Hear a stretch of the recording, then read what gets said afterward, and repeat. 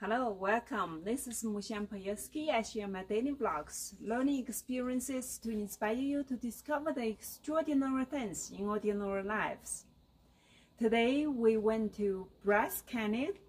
We drove an hour and a half from Zion National Park.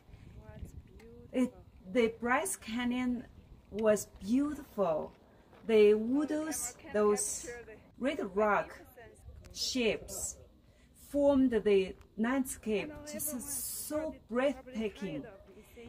I thought Zion's views were beautiful before we went to Bryce Canyon, but today when we went to Bryce Canyon, every point I go here, I see the view, it's different, it's beautiful, and then turn around and take a look at it, it's a different view.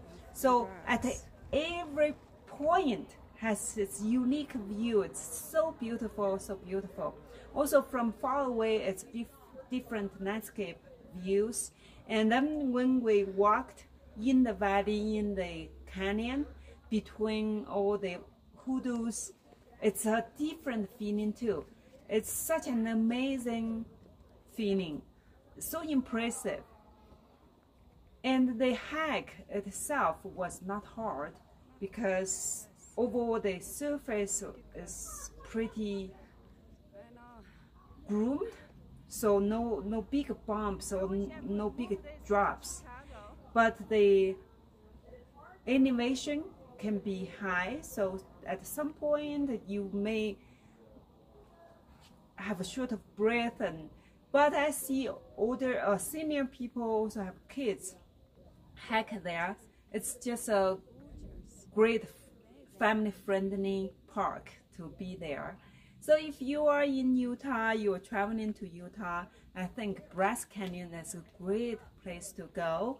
And also it's relatively cheaper. You don't have to book a tour to see all those hoodoos.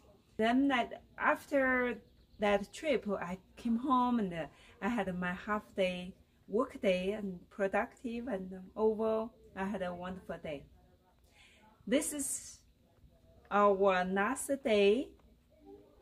Actually vacationing, but tomorrow we will we will be heading home and uh, we will drive two days. Yeah, it's a long drive, but it's all worth it. Okay, see you tomorrow. Bye.